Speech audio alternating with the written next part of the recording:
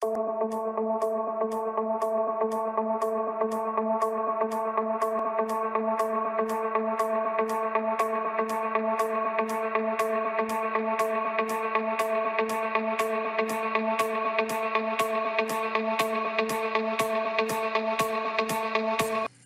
good afternoon, everyone. Today is the 4th of June and the time is 12 p.m. I'm Dr. Priyadarshini Marathe, POCUS lead at Oxford's Emergency Department.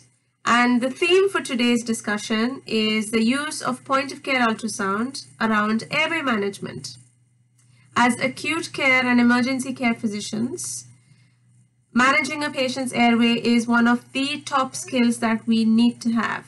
And what better way than to make it easier to plan, perform, and also use point of care ultrasound to prevent complications around airway management. So today we've got five great presentations for you where we will discuss some of these points. Our first presenter today is Dr. Yasir Mohamed. Yasir, over to you. Um, so a bit of background. So the, the talk of today is going to be about the future of airway airway management in ED, and um, uh, and hopefully we can get some uh, learning points out of this. So we're going to start by a quick case study. 34-year-old female, two weeks postpartum, known case of insulin-dependent diabetes, hypothyroid, and major depressive disorder. She's brought in by ambulance after collapse at, at shopping center with a GCS of 11 and normal pupils. She was a bit hypotensive, tachycardic, and tachypneic, and desaturating on 15 liters. Temperature 36.5 and a BM was normal. She has an IV in place with one liter of normal saline running. So, um, out of the top of your head, differentials that you can think of for this 34 year old postpartum with shock. A lot of differentials came on, um, but I'm sure many of you would be thinking, could this be VTE? So, as usual, we'll why not get the ultrasound and check if there's any signs of VTE. Um, we do a rush protocol, which is rapid ultrasound in shock. And this is a really good protocol for the undifferentiated hypotensive patients, UHP. So any undifferentiated hy hypotensive patient, whether you're querying septic or not septic versus cardiogenic or not, a rush protocol is a very useful clinical assessment tool that you can add uh, to your to your clinical judgment and clinical assessments. So a rush protocol was done, and as you can see on the image, on the left of the screen, um, you can see dilated RV more so than the than the LV, which is very RV dilation is very consistent with a PE. And on a short axis parasternal view, you can see flattening of the interven interventricular septum with the D sign. So this patient, in, in, fact, did have a PE. So you've diagnosed PE, what's next? You confirm the VTE, and then you ask the medical student to return the ultrasound machine because it's taking too much space in your resus. And then as the medical student is pushing the ultrasound machine out of the room, the patient arrests. So what you should do, what should you do next? The obvious answer is get the ultrasound machine back. You cannot have a resus without ultrasound machine. You need to go and get the probe. So you grab the probe and then the team is managing the arrest as per standard guidelines and CPR is ongoing and they say this patient was desatting, massive PE is likely. So we are intubating this patient while we're arranging thrombolysis and so forth. So while the airway doctor was preparing for intubation, you extend your probe, lightly place, in, place it on the suprasternal notch. And I got this image just for you to be aware. The ultrasound uh, doctor, uh, th this is where he's positioned However, if he wants this, this position is for a FEEL protocol, which is focused echo in emergency life support, where you can do a subxiphoid view of the heart while uh, uh, during the 10 second rhythm checks. However, if you want to do an ultrasound for the airway, you go to the top of the bed at the left side of the chest uh, of the person doing chest compressions, and you just place the probe over the suprasternal notch. So you were interested on a on, on the assessment of the airway, and you decided I'll do suprasternal uh, ultrasound to see what the airway doctor is doing with his intubation. And then you go on in, and then on the first attempt you see this. And for everyone to get an idea what's going on, basically you have your ultrasound probe here, aiming to the patient with the marker aiming to the patient right. And this is the trachea with the thyroid gland on top of it. With this trachea, because it's full of air, you see an air mucosal interface, which is that white line, and air underneath it. And as you know, air used to be the enemy of ultrasound, not until you're doing lung ultrasound, but it used to be. And that's why you cannot see much of ultra much much uh, image behind the trachea. So this is the trachea with the air mucosa interface. And then to the left of the trachea, which is the most 70% of the population have their esophagus to the left of the trachea. Usually it's somewhere around there. You see that trachea getting filled with something. So now what you see is a double tracheal sign. You should only see one trachea in, in an airway ultrasound but if you see a double trachea, what looks like a double trachea, know that someone has put an airway into a place where he shouldn't, which is the esophagus.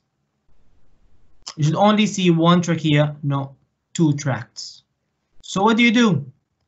Do you wait for him to be secured and, and tie the CO2 and then ventilated and back uh, and then inflating his stomach, or do you just tell him to, well, you just intubated the esophagus in real time. So you feed back to the airway doctor and you tell him, I can see a tube going down the esophagus. Can you give it another shot? And he does that. And then look at the tube now. Going into the trachea. The, the esophagus is there. It's that, that small circle with many circles inside. You don't see any double tracheal sign, anything showing on the left of the esophagus. So the second attempt of intubation was actually successful. We do not have to bag the patient. We do not have to connect him to the CO2. We don't have to get any, we do not even have to auscultate while bagging. It was an instantaneous real-time feedback with correction of tube placement without the patient desaturating or having any adverse event. And for everyone to get aware of what this looks like, esophageal intubation versus normal intubation. This is the double tracheal sign, double tract sign of an esophageal intubation. This is a single tract, meaning the air, the ET tube actually went in place where. So you do not have to identify the esophagus per se. If you couldn't see it because it's collapsed the muscular tube, but what you need to identify is the trachea and the surrounding structure, with the tracheal links and and the, the thyroid on top of it, and then you will see a small structure there, which is likely to be the esophagus. However, all of this is just extra. What you really need to focus on is the trachea being intubated and not a second tract or second trachea forming. And that's how you rule out esophageal intubation. And by that, the tube has went to the, to the airway evidence for this? Is this just something really new that people are just discovering about this? Absolutely not. This was a meta-analysis, a systematic review with a meta-analysis that was in 2018 of all the studies that that investigated this question. And the studies go back to 2005 and even before that. And this systematic review excluded any case reports or case series or retrospective studies. So it was only for prospective studies and RCTs. And it had a total of 1,595 patients and uh, quality, um, all of them analyzed in this meta-analysis, 15 of which were prospective studies and two of which were randomized controlled trials.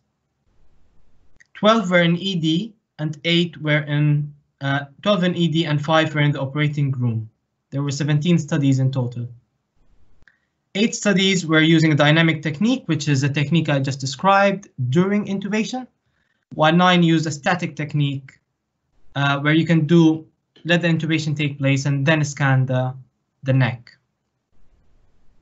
There is no significant difference between either techniques, whether you use dynamic or, or static. I prefer dynamic technique. The sonographers were emergency physicians 13% of the study, so these are not radiologists, these are not sonographers. These are not anyone other than emergency physicians, and actually only in three studies there were anesthetists. Anesthesiologists in three studies, and one study was not described. So this is by far an emergency physician developed point of care ultrasound. So let's get to the numbers. How sensitive over all these studies was an ultrasound to detect uh, intubation. It ranged between 97.8 to 99.2. Mean is around 98.7 percent sensitive to detect an endotracheal intubation. And 97.1% specific to detect an endotracheal intubation. And had an area under the curve uh, of 0.994 the um, the overall esophageal intubation rate was high, so it was 15% of all these intubations were esophageal. And there was, uh, and I want to, to point this out, there was no significant difference in accuracy between this, these studies with respect to the training protocol used, the ultrasound technique used, or the sonographer experience, whether that be a medical student who was taught this, or an ultrasound fellow who was taught this. So it has a very good learning curve that people can catch up on fairly quickly and easily. So why airway ultrasound is such a good option? I'll just highlight two very important points. The first is that it detects esophageal intubation in real time, even before ventilating the patient. Hence, you're avoiding any unnecessary forced ventilation to the stomach and its, and its associated complications. Moreover, capnography. Capnography has been the gold standard. However, there are always pitfalls, and capnography is also has pitfalls. Because it depends on pulmonary blood flow, whenever you have a massive PE or cardiac arrest, it's less reliable. And in some studies, it had a, a sensitivity of 65 to 68% in cardiac arrest. So not very sensitive in conditions where you where the pulmonary blood flow is compromised. However, it stays to be very useful. It remains to be very useful. And obviously chest x-ray just takes a lot of time. We do not want any chest x-ray to confirm anything. Uh, ultrasound is a great option instead. Okay, so I've talked about the evidence and I've talked about why ultrasound, but is it adopted by international guidelines? Is it something that anyone has endorsed? Well, actually, yes. This has been in the ILCOR guidelines, the International Liaison Committee for uh, of Resuscitation, and it's adopted by ACLS. Ultrasound for ETT confirmation has been added in 2015, five years back. So to sum it up, simply all you need to do is place the probe over the suprasternal notch, Watch the ultrasound machine as intubation is attempted, and then feedback if you see a double tract. And that's it. Thank you all for listening. And this is my, these are my references. Thanks, Yasir. That was a great presentation. Are there any questions for Yasir? Or, or anything else that people would like to, to discuss? It's quite uh, simple. just like Yasir said, all you have to do is use the high frequency probe, put it on the suprasternal notch, and as the tube is going in, check if there's a double tracked sign. And if it isn't, then it's probably going down the right tube. Um, Karim wants to ask a question. Absolutely, yeah. Uh, sorry, I think you've already answered it. It was just to confirm what probe do you normally use? Use the linear one, high frequency. Yeah, so it, it, it depends on your uh, how comfortable you are with it, but I would say some experts have have advised to use a curvilinear probe because it gives a wider footprint versus the linear probe. Um, but but but you can use either. Linear probe obviously gives you a very high resolution image. Uh, it's it's it's a high frequency probe, but it gives you very low uh, depth. You don't need much depth, but the advantage of curvilinear is that it gives you a wider footprint. Um, my advice also, a, a bit of a tip here is that even if you cannot visualize the esophagus being intubated or any of that, and if you're suspecting it, you can slide your probe a bit towards the left side and then scan there because the esophagus you will be able to visualize the esophagus more into the left, which is the majority of the population. And some experts actually, the same way you move the trachea to intubate, after you intubate, you can move the trachea to the right and push the trachea and then ultrasound, and then you'll see there's an esophagus that's behind the trachea and obscured. So there are many tricks that you can use. Um, so you can you can not only mobilize, you can look from the left side, the right side, on uh, behind the trachea, and it's a very simple thing uh, to do. Really, it doesn't need a lot of technique. Thanks. Yeah, so I'd, I'd be really interested to see it in action because I've never seen it being done. Um, if, if from your experience, does it, especially with a curvilinear probe, does it a ever hinder uh, any other maneuvers that you want to do, like a burp or a cricoid, or uh, have you found that that's still possible? So very good question. Um, because you're placing the probe just suprasternally, you're not placing it over the tracheal cartilage. Probably not the best day to wear a turtleneck, but you cannot because you're not placing it over the tracheal cartilage. You're not you're, you're not changing anything. Anyone who wants to manipulate the trachea can do so. And after they intubate, uh, uh, you can do your trachea manipulation if you want to. That's just a tip that I've, I've seen been used. It's very useful, uh, which you can use when the esophagus is behind, not to the left of the trachea, but behind the trachea. To just visualize that, you can slide your prop to the left or mobilize the trachea a bit and then visualize behind it. Very nice tricks. You usually do not need that. Usually it's very obvious, uh, but it's just an extra tip. Uh, it does not uh, prevent anyone from uh, doing a burp maneuver because it's suprasternally. And even if someone does not want you to ultrasound because something new and not everyone can accept it and uh, people are still grabbing on the ultrasound now, you can do it after the intubation. You can tell them, do your capnography, do your auscultation. I'll just slide a small probe and you carry on what you're doing. And then on that probe, you probably pick up if there was a double track before the capnography picks up. And then you can tell them, well, actually, I think this is in the esophagus before the capnography reads. Great, that's great, Yasir. Thank you so much. Um, we've got Helene, who's our next speaker. Helene, are you here? muted. It's muted. Can you hear me now? Yeah. Yeah. Right, you, you can go ahead with your presentation. Yes, so I'm going to share my screen. Um, so basically, uh, okay, great. Can you see it all? Yes. Perfect. Yeah. So let's continue with the same patient that we just intubated as uh, Yasir just did and well presented. So basically, if we continue, so the same clinical case, we just intubated her. So now we confirmed that we were in the endotracheal, okay, so we were in the track. Now, how can you make sure that you're not, you have not gone too far or within like only one branch or just make sure that you're at the right place and that you are um, ventilating both lungs. So basically you can confirm that you're ventilating both lungs if you see some sliding bilaterally, if you see some A lines versus B lines, if you see any lines, it means that you have a contact between two the two pleura.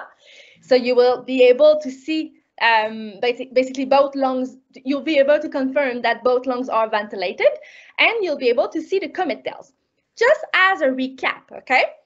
So when you take your probe, okay, you take your marker. The marker is always towards the head. You put it longitudinally on the chest, so you have a vertical view.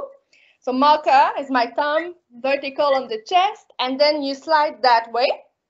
So as a recall, just a recap here, you will have a view of two costal ribs, okay? Here and here, and you will see the lung, the pleura, right between the two ribs and their shadow. And just as a recap, if your marker is towards the head of the patient, so the head of the patient will be on the left side of your screen and the feet will be towards the right, right? So what does it look like? Okay, a normal appearance, just to recap a bit. So you will see, if you place your probe in that orientation, you will see two ribs, okay, and their respective shadows. You will see the pleura lying atop of the lung, okay. So here on the top of the screen, you'll have some, uh, some um, subcutaneous tissue, some muscles, intercostal uh, muscles. You have the pleura here, which is um, a thin, bright and white um, with line basically that lies atop of the lung. You will see some small speckles on it, which are called the comet tails, and they will move back and forth with each breath, okay? So what does it look like? Here you have, so these, this is a normal lung. So you have the two, the two ribs, okay, one on each side. You have the pleura here, okay? And you have the reverberation. So basically, if the pleura is normal, it will act like a mirror.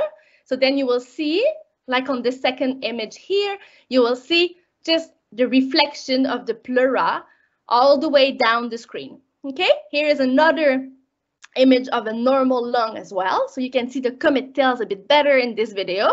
Comet tails here, um, so that are a little bit, little speckles on the top, and then you see the sliding. So basically, if you see the comet tails and you see some A lines, it means that you have some contact. That's the point. You have contact between the parietal pleura and the visceral pleura. As a little, another just point to, to catch here, basically, if you see some B lines, it means that you have a contact. So it means that you have no air preventing the sliding between the, the visceral pleura and the parietal pleura.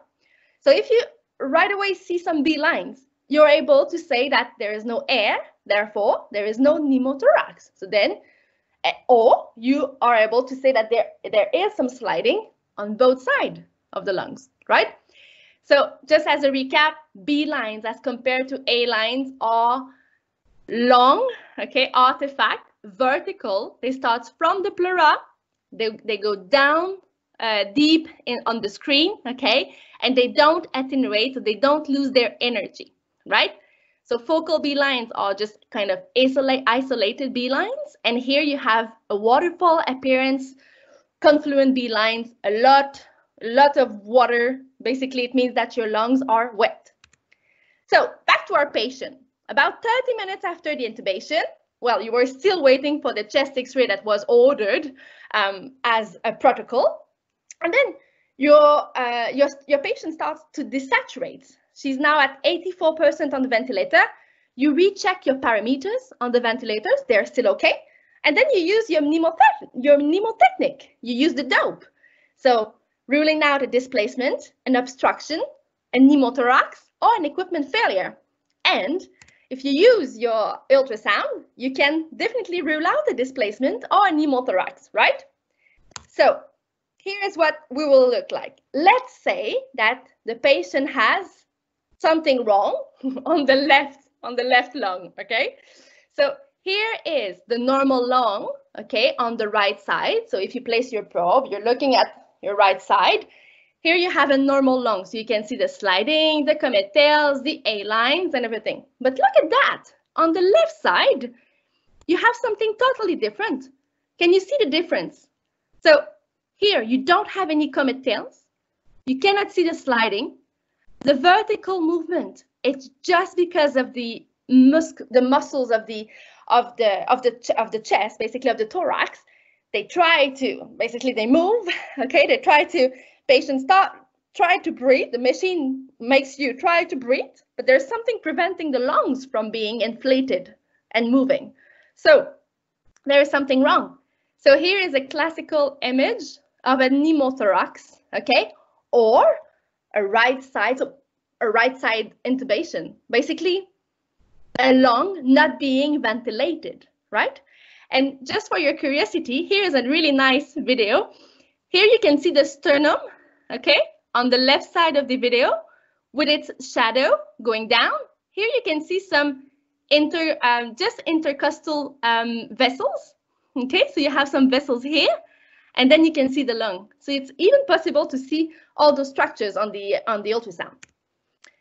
So after that, the famous M mode, okay? So the M mode, M stands for motion, motion, compared to B, to the B mode for brightness or bidimensional, okay? B bidimension, two dimensions.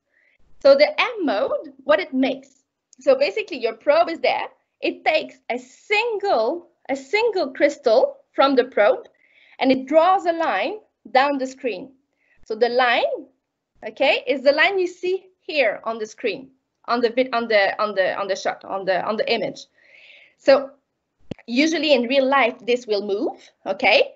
So it takes a line and the line, okay, is producing a clip and it repeats what the line sees, right? Bear with me? So if the line is seeing some normal movement, it will create this appearance here. The chest wall is not supposed to move, right? It moves a bit, but it's not supposed to move as as extremely as the um, as as the lung, right? In a normal patient, as we saw. So you will have what we call the seashore sign. So the the portion that is moving, it's like the sand. Okay, so you're on a beach, your feet are there. Okay, you're on a beach, you're sat on a beach, and then you have your sand. Okay, here, which is the portion of the of the lung, and here you have the water. Okay, so it looks like waves coming towards the beach, right? Some people call it the sand beach sign or the sandy beach, whatever you call it. It means that you have a, a normal movement of your uh, of your lung. On the other hand, if you have a pneumothorax or a non-ventilated um, lung, you'll have a barcode. You won't have any movement of the lung, right? So you'll have a barcode. So only single lines from the top till the bottom of the of the um, of the of the screen. Some people call it um, the stratosphere sign. I don't really catch it to be fair. Uh, to be honest, I prefer the barcode. so barcode sign. And just for a reference here, for you to just to better visualize the differences between on the same patient here, the differences between both lungs. So you have here, here the seashore, the normal signs, and here you have the barcode. And then how can you make sure that you have a pneumothorax or not? The definitive sign to make sure you have a pneumothorax is the lung point. The lung point is basically the point where you can see the difference between a lung moving and a lung, well, no, no movement, right? So here, I don't know if you can see on the on the video, here you have a on the right side of the video, you have a normal lung movement. And there is a point, okay, where you can see that the lung is moving. Okay, so this is basically where the point where the lung is deflated or the lung doesn't the lung doesn't touch basically the, the visceral pleura doesn't touch the parietal pleura anymore. Bear with me. In some occasions, you can even have a double lung point. This is quite nice. So it means that you have a portion of the lung that is touching the, the, the, where the visceral pleura is touching the parietal pleura, and then you would have air on both sides. So it looks like that, okay? So let's say that you have a double long point here. So you have a bit of lung touching the normally the pleura. So you have a contact between both pleura, okay? And you have air on both sides. Otherwise, this is the regular lung point, basically, this the point where the lung is not touching anymore, where the visceral, the pleuras are not touching themselves anymore. And then finally, you'll have the heart point or the lung pulse. But I'm afraid you will have to stay with us because we will talk about it shortly with another presenter. So as usual, many thanks for your listening. Uh, don't hesitate to catch me on the shop on the shop floor, ask me any questions, or to Twitter me. Um, we we all are we are all um, ultra uh, ultrasound and POCUS lovers. So please let's go and crack on and grab your probe and boom it. Thank you. Thanks, Helen. That was a great presentation. So we've learned about uh, mode and lung point.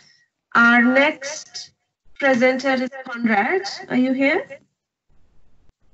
If you can hear me, I'm here, yes. Yes, I can hear you. Okay, ready for your screen share? Okay.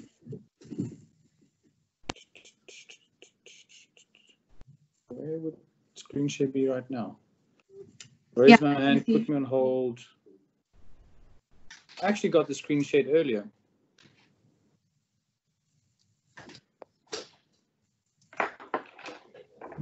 Does anyone have any Okay, got it. questions in the meantime? Screen.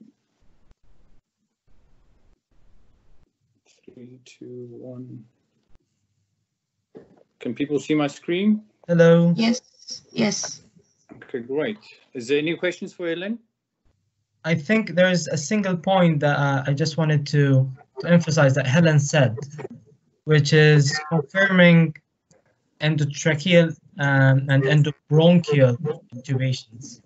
Um, so ultrasound is very. Do, do you want to do you want to wait maybe at the end of mine and maybe I cover that or not? No, no, no. I'm not going to speak about the lung pulse. No, no, I'm not going to speak about the lung pulse or any of that. I'm just gonna. Uh, I just wanted to emphasize that this is the point that Helen made is very important and should be in everyone's mind.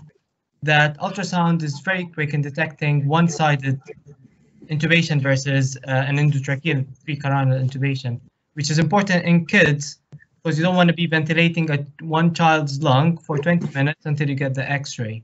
So that's where the importance of ultrasound comes. Uh, back to you, Conrad. Okay. Thanks, you. Conrad.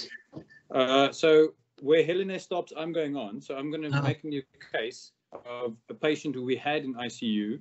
There's just the background. She was 58 years old. She came in post-lap for acute mesenteric ischemia. And she intra-op, she had no concerns. The uh, anesthetist, when they handed her over, said, well, she had really good ventilation, oxygenation, pressures were fine. And then on the en route, uh, she was getting a bit much with the pressures and she needed some vasopressors. And then she got to us. They needed anesthetist handed her over. As we were handing over, uh, every time we were handing over, there's a little bit up on the pressures. The tidal volumes are dropping. Up on the um, up on the vasopressors, the blood pressure was dropping, and it was continuously going. Handover was done. Anesthetist said, "Job well done," and they left. And that's exactly when things started really getting troublesome for us. And Helena already spoke about the airway check, the DO, the dope system, and we went through that because now this lady is in front of us, and she is a unique, very short, very short neck obese patient.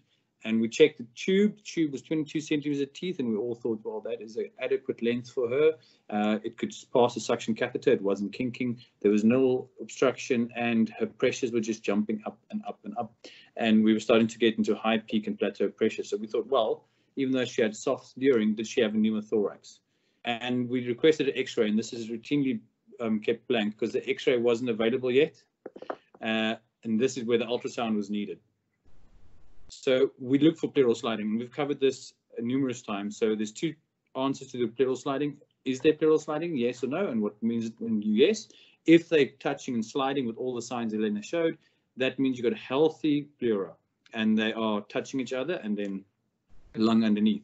What no means is we taught initially that it means no, uh, there's a pneumothorax, but it only means there's a pneumothorax if there's features that there's air in between. So sometimes the pleura cannot slide And there's reasons either stuck, and in South Africa we saw it a lot with TB.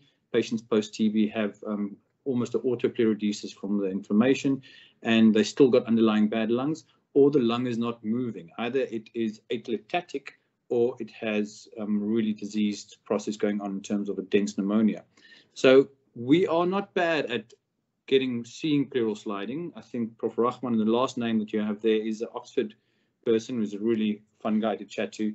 And we they have over and over said that we you don't need a lot of training to look at pleural sliding. You can novices can pick it up, but only when it becomes troublesome. Easy, good pleural sliding is easy to see, but when it comes troublesome, it might take some experience. And so we saw this in this patient, and we then saw the lung pulse sign, and that made us really reevaluate her, and we changed some things. So this is uh, the first time I play with my toy. This is my interpretation of how to draw a lung pulse sign. I've got a new toy with my iPad, and if it's not the best picture you've ever seen, please excuse me, I'm learning. But so basically what the lung pulse sign is, is if you got a intubated lung, let's let's use the concept that this patient had of a right endobronchial intubation. The left side becomes immediately and within minutes severely atelectatic. There's resorption atelectasis. The, the air that was there is all gone into from the alveolar into the tissues and the lung becomes like a less dense sponge. So the, the tissues become dense. And what that then means that there's the cardiac pulsations are transmitted and it gets to the pleura.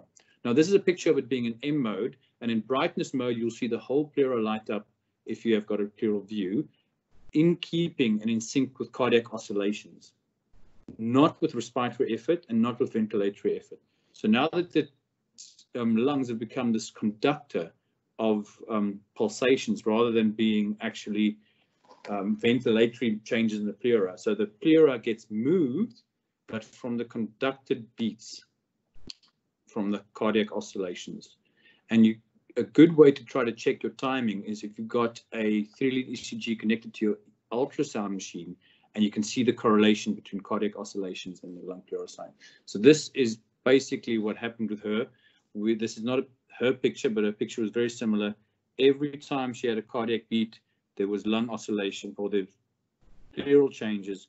We realized that she has features of left endobronchial or right endobronchial intubation with left collapse. However, when we went to her airway, we couldn't understand that she had a 22 centimeter good looking tube.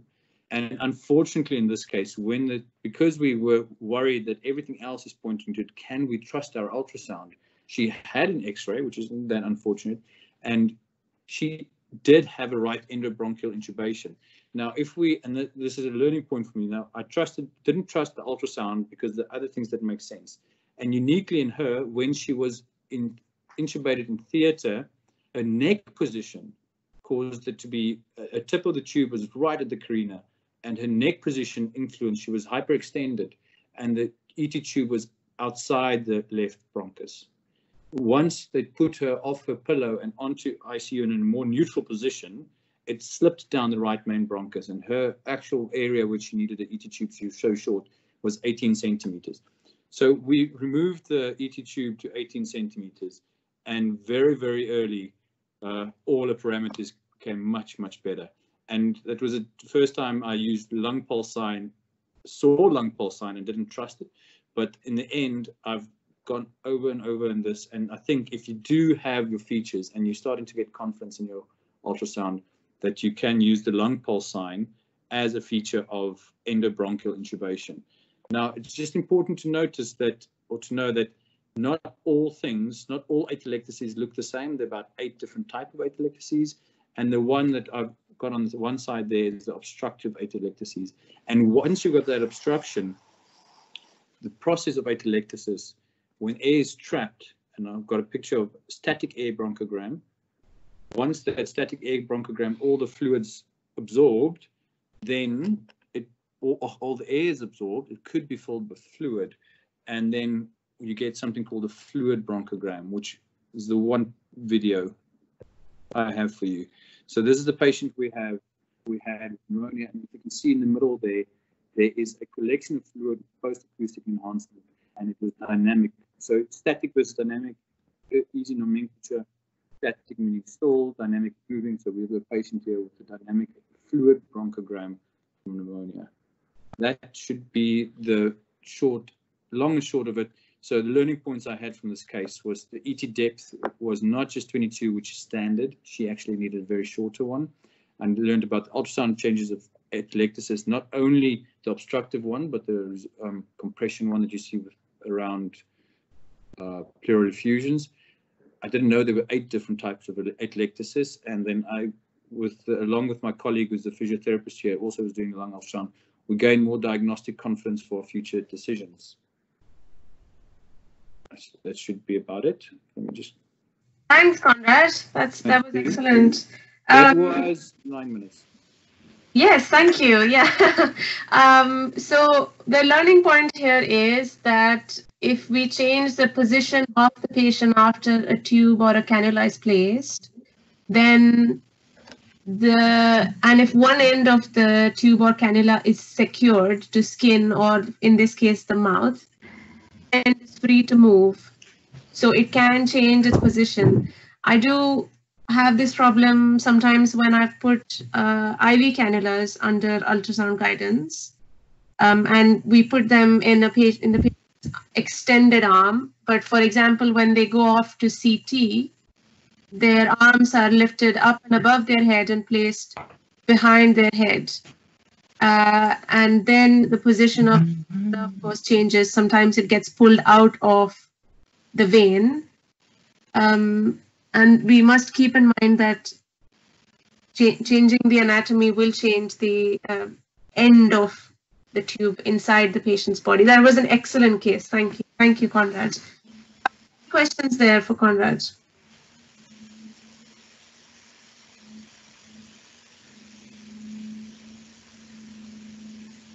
Uh, there is a question here. Do the Mindray machines have a have the ECG attachment? Yes, they do. All of them. Uh, the, our next presenter is Judson. Are you there, Judson? Yeah, hi, yeah, hi. yeah. Yeah, we're ready for your screen share.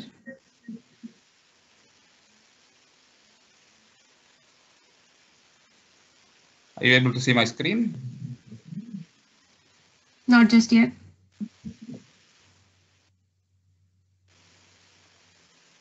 No. Yes. Excellent. So my topic is man versus machine. It's basically an algorithm for troubleshooting post-intubation desaturation in patients. So this is a patient I managed a long time ago in India. Uh, she was a 37 year old female known to have diabetes. Came in with cough and fever for the past eight days, became really short of breath in the last 24 hours, was intubated at her local hospital and was transferred to us uh, for ICU, ICU care. She was not maintaining her saturations. Her saturation was 75%. She was quite sick and she was intubated. So this was at handover at in the at midnight. There were two other cardiac arrests going on. So uh, it was kind of a very busy scenario where we didn't have time to focus on all aspects of this patient. But then we tried our best, and uh, I'll just share what we did in this uh, to this patient. So man versus machine. So the two things we are looking at uh, in terms of patient desaturation, uh, desaturating. So the things about the machine are we looked at the tube. If the tube was displaced, basically the same Dopp's mnemonic uh, we used the laryngoscope to see that the tube was in place. We saw if the tube was obstructed. We did suctioning to, you know, clear the tube. She was having a lot of secretions. In the end, we decided to change the tube because uh, we thought maybe the tube was blocked and because she had so much of uh, secretions. And then we also uh, did a lung protective strategy because we thought she had ARDS. Uh, uh, we made sure her tidal volume was okay. We increased her FiO2. We went up on the PEEP. So basically, we did as much as we could to optimize the machine settings. And with all of these, from 75% her saturation went up to 82%. But she was still sick and we couldn't get her saturation up. So the causes of patient having problems which might lead to desaturation. So the man problems or patient problems, pneumothorax, lung collapse, pulmonary edema, pulmonary embolus, bronchospasm, all these differentials came to mind. And so we just did an ultrasound of her lungs and on her right in uh, mid axillary line, this is what we saw. Thus the diaphragm, the liver below and above, if you can see, there's some fluid with debris just swirling around.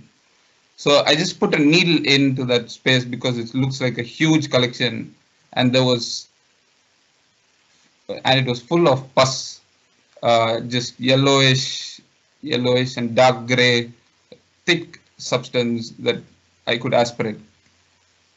So we immediately put a chest drain into that place and her saturation came up and her vitals also improved. So basically the take home point of my slide is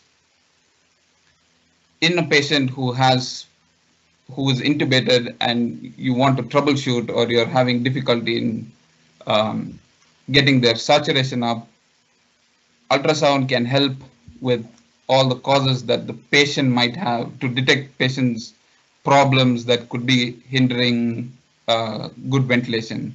So pneumothorax, we've already heard, pulmonary edema, we've heard previously, uh, Yasir has talked about pulmonary embolus, and my uh, my patient had lung collapse because of the effusion, and in mine it was particularly empyema.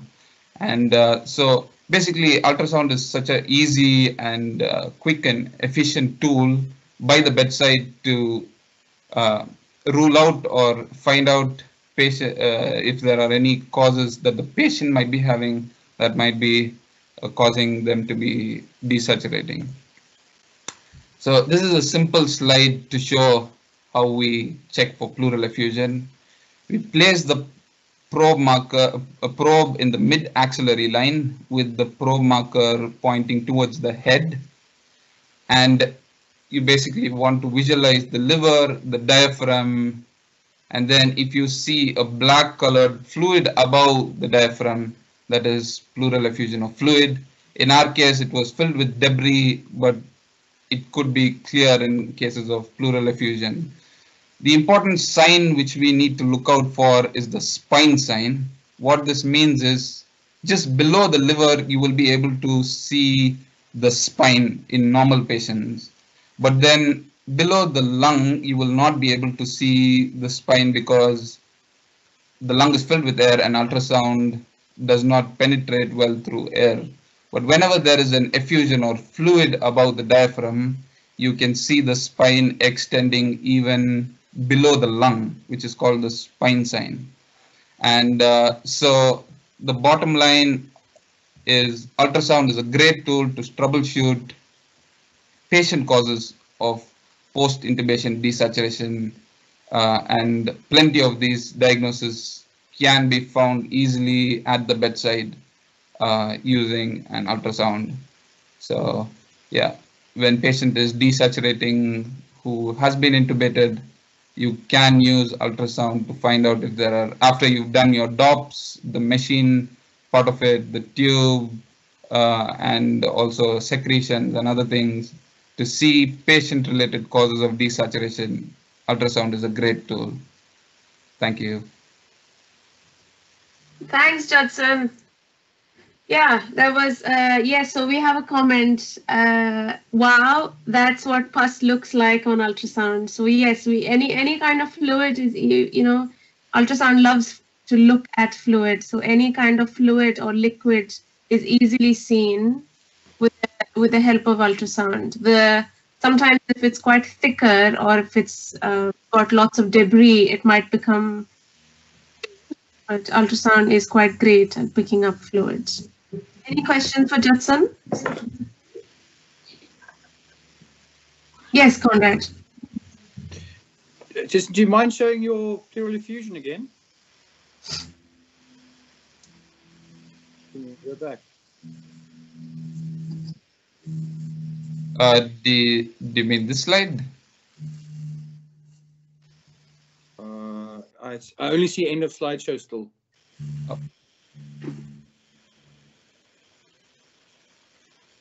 doesn't, that doesn't matter.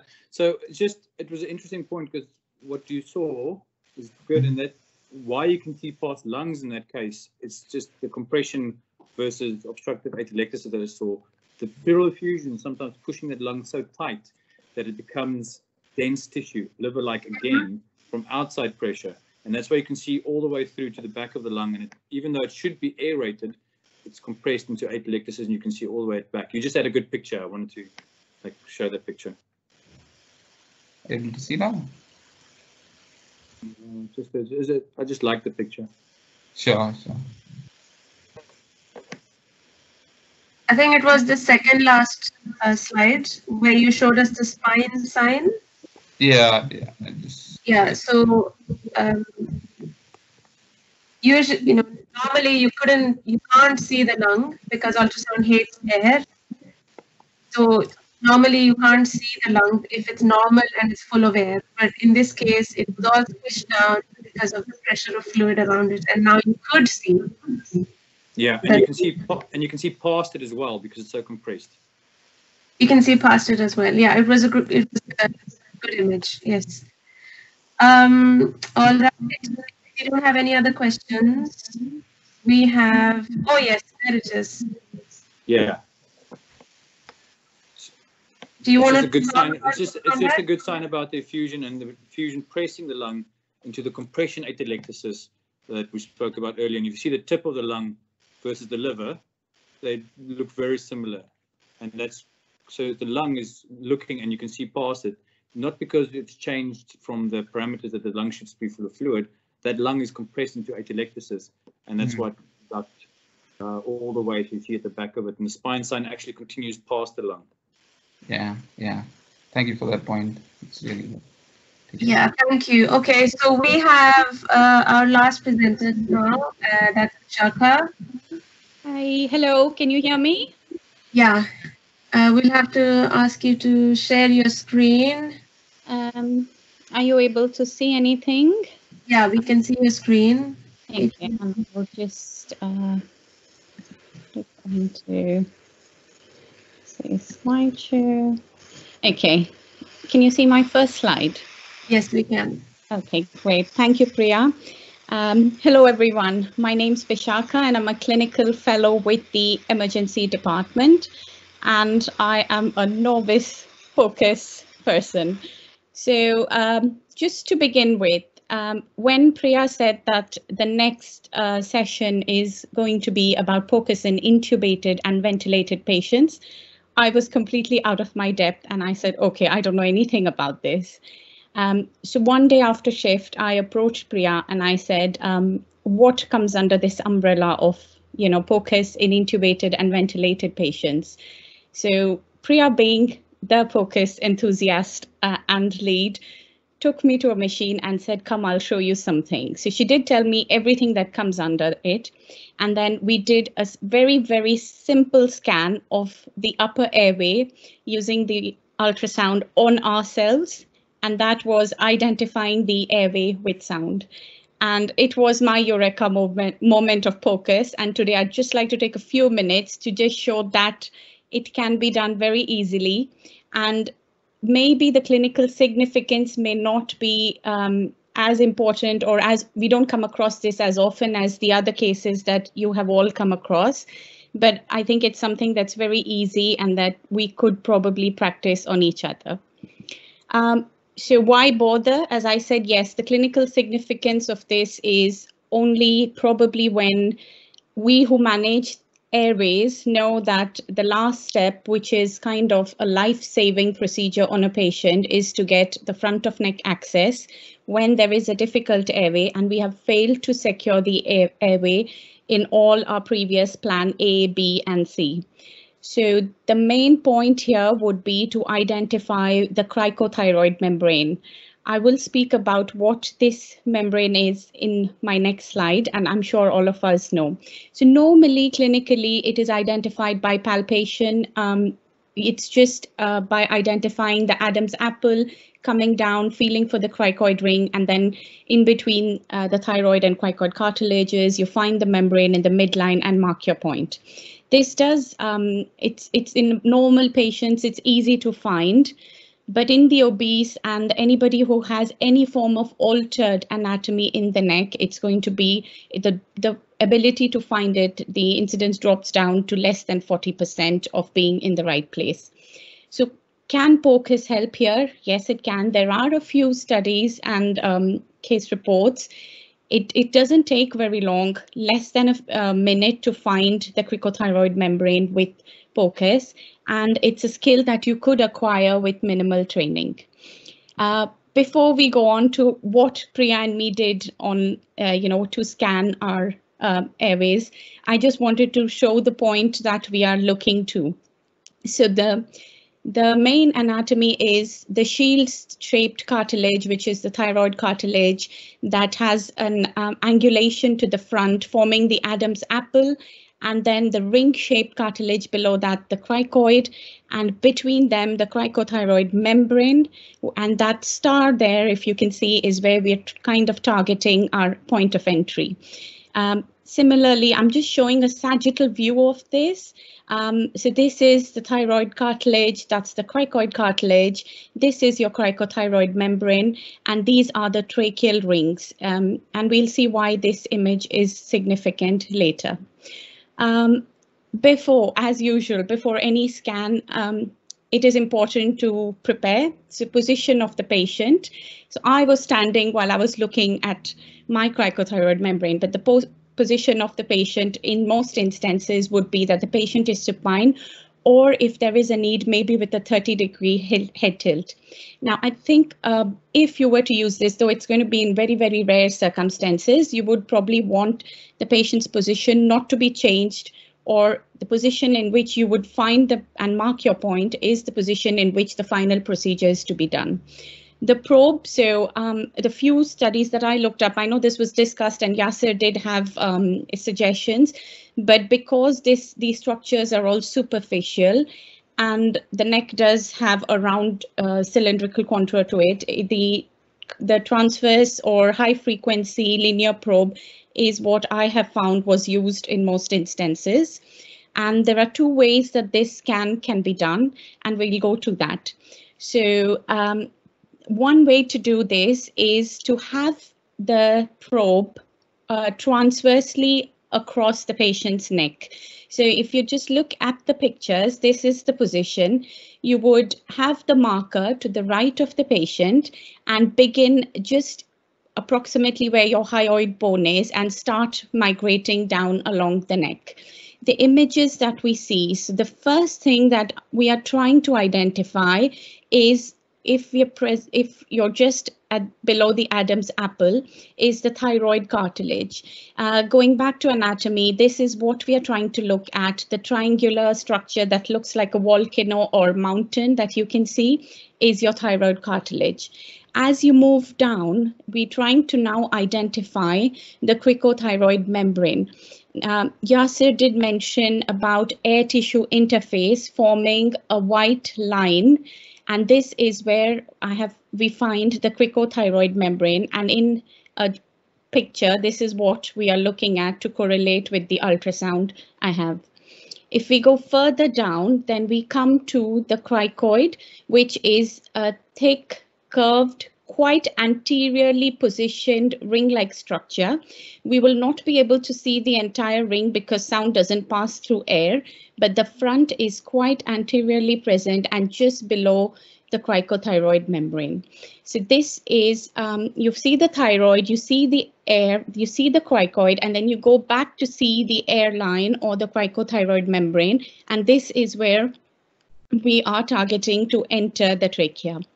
Um, the other way of doing this is by, uh, before we go on, I think I have a video that should play. This is uh, while um, my first attempt and um, learning from Priya of trying to identify structures. So we begin by locating the thyroid cartilage, which looks like a conical mountain, and you can see the vocal cords moving inside. Then we move down to locate the white structure, which is the air tissue interface at the cricothyroid membrane, and then move further down to the C-shaped semicircular cartilage, which is the cricoid itself. And if we go further down, we can see a tracheal ring with the thyroid gland on both the sides. And then we come back up again to see the cricoid located there.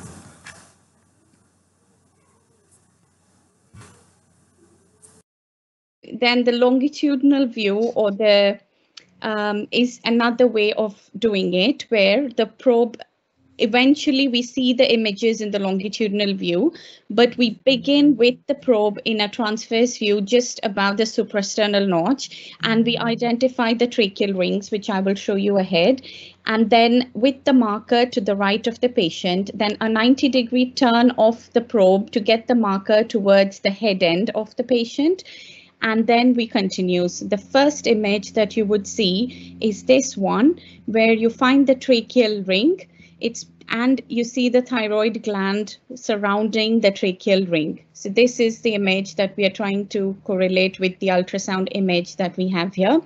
Then after we've turned the probe, um, the first image that you would see is actually this one, where we see the tracheal rings as a string of pearls and then you slide up to find the cricoid cartilage and then the thyroid cartilage and the cricothyroid membrane in between. So the final image is this, which you would focus into with the cricoid, um, the thyroid and the membrane in between. And this is where we are targeting to um, enter. The longitudinal view to locate the cricothyroid membrane. In this view, the first structure we see is the thyroid cartilage towards the head end of the patient. The next structure we locate is the cricoid cartilage and between them, the connecting structure is the cricothyroid membrane. As we move further down the neck, we can see the tracheal rings that are one after the other looking like a string of pearls. So this, um, it was very fascinating when I actually saw this, um, you know, and it's such a superficial structure, very easy to locate, very easy to practice because you don't need somebody else. You can do it on yourself while you're seeing it. And I know the instances of one of us coming to do a FONA. We don't know when this will happen, but when it happens, uh, there is no room for error. This is a case report that I uh, have picked Im images from. Um, published in one of the emergency medicine journals. The first image, we see the surface markings. So the two surface markings, the black asterisk that you see is where the surgeon or the airway person marked for the trachea. And then with ultrasound, they detected the trachea to be present at the red dot. And the same pers um, person's CT image shows um, the arrow is where the surgeon would have marked going by the midline and the ultrasound image has identified the trachea in the correct position. Will this, uh, knowing how to do this, will it change my practice? Probably not for every intubation, but if there are patients with altered anatomy in the neck, then definitely yes. Um, so can I identify the airway with sound?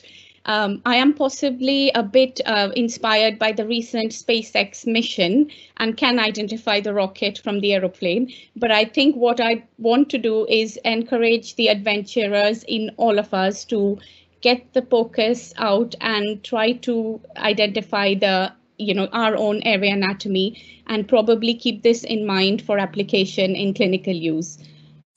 That was wonderful. What a great set of presentations. I hope you have enjoyed today's webinar. I'm very grateful to all of the presenters. And until next time, I hope you have a wonderful week ahead and happy scanning.